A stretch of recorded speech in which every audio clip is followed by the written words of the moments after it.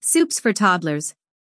The first thing you should bear in mind when it comes to feeding your baby is that baby soups are delicious, healthy, and easily digestible. They are comforting and highly nutritional foods for babies, kids, and toddlers. Understand that soups are the ideal options when the kid is fussy about food or refusing to eat vegetables.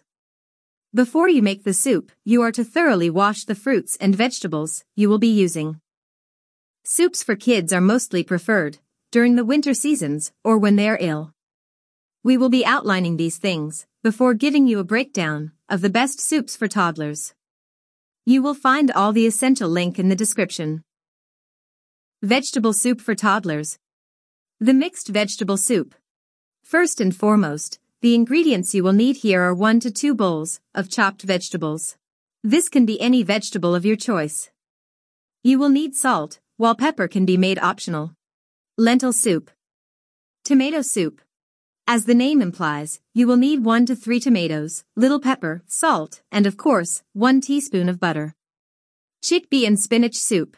Soup for 6 months old baby. Rice gruel or rice soup.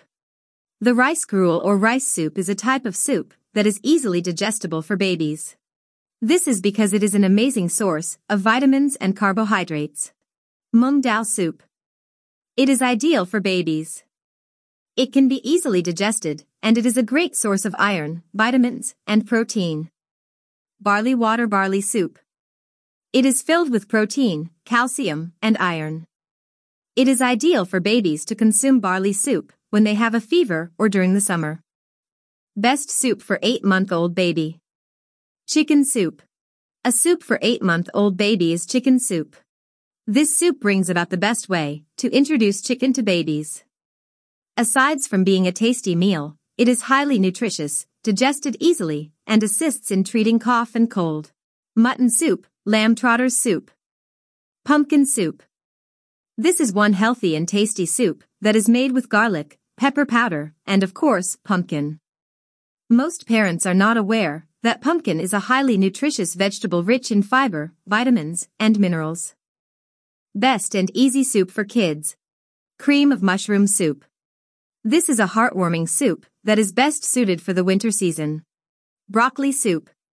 Broccoli soup is rated among the best soups for kids, and it is prepared using potatoes, fresh cheese or cream, milk, and broccoli as its primary ingredients. Please find all the essential link in the description.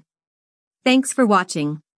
If you liked the video, please hit the like button. If you want to see more videos, hit the subscribe button. See you in the next video.